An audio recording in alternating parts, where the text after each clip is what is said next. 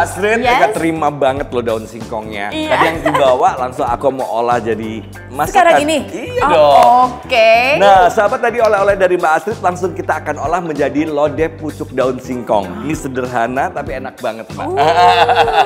Kesukaanku itu mas, lodeh Bener itu. Oh iya. Eh, Mbak, ini sebelum kita olah, saya akan panaskan minyak goreng dulu ya. Perlukan minyak gorengnya adalah 6 sendok makan ya. Kemudian yang bahan-bahan yang dibutuhkan ini untuk membuat lodeh itu sederhana aja. 8 buah bawang merah, kemudian 4 siung bawang putih. Nah ini dua-duanya kita rajang. Langsung kita rajang Ya. sekarang. Oke. Tipis-tipis ya. Ya. Oke. Nah seperti ini. Nanti kalau minyaknya sudah mulai panas, kita Sudah akan masukkan hasil ya, rajangan Mas. kita ya. Oke, kita masukkan bawang putih yang Ya. sudah dirajang, siap untuk ditumis ya.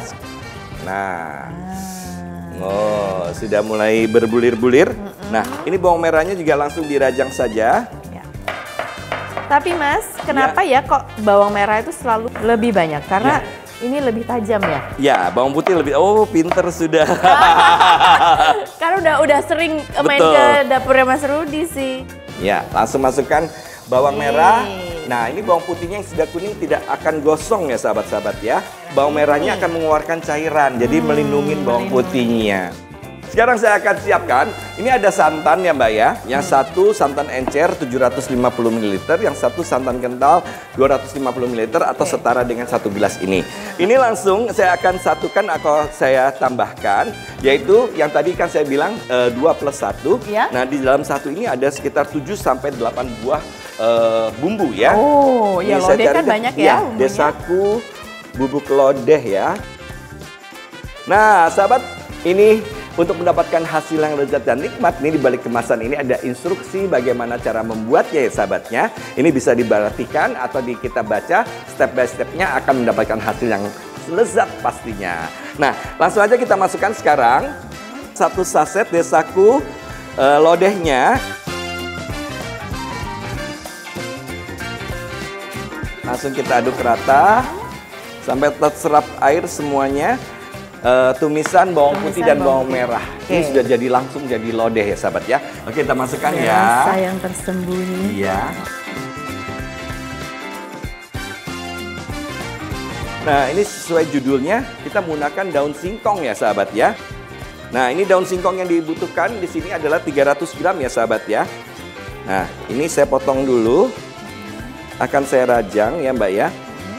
Jadi dia tidak terlalu, nah seperti ini. Jadi saya nggak rebus dulu, jadi langsung saya rebus dengan santannya. Iya. Kita rajang lagi. Hmm, udah wangi. Kalau sudah mulai mendidih, aku akan masukkan.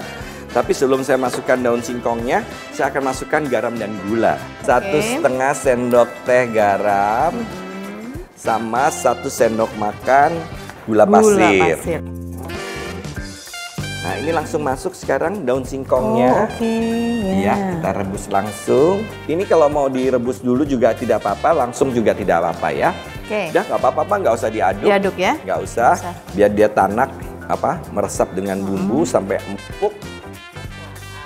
Nah, sekarang kita masukkan labu siam ya. Boleh masuk. Labu siam yang kita pergunakan di sini adalah 100 gram dan tempenya kita gunakan yaitu sebanyak 200 gram. Oke, kita tinggal aduk merata sedikit. Yang kita lihat hanya singkongnya aja, Mbak, daun singkongnya. Kalau dia sudah cukup matangnya, baru kita masukkan eh, Si cabai merah, cabai cabai hijau.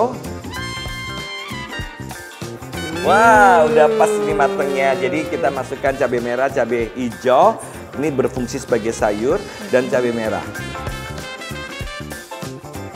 Langsung kita masukkan Ini santan dia, kentalnya. santan kental. Nah, ini satu gelas atau setara dengan 250 ml.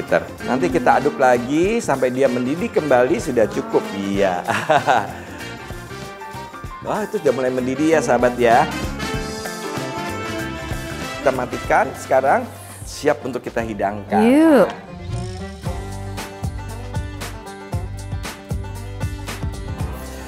Uh, enak banget nih ya. Pas banget tingkat kematangannya.